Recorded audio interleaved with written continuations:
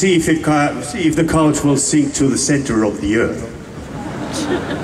But there again, yeah, we're talking about last things here. You might continue from here. Well, I was quite happy you were doing the talking since I am the emotional one trying to hold back the tears because it is a bit of an emotional moment. So you got them tears. I said I want them back. Yeah, right after the show you will. So, joy with us, cry with us, feel the emotion with us that has been around us for such long time now. This is a beautiful, very special moment that we're going to share with you. This is the last ride of the tour. So please,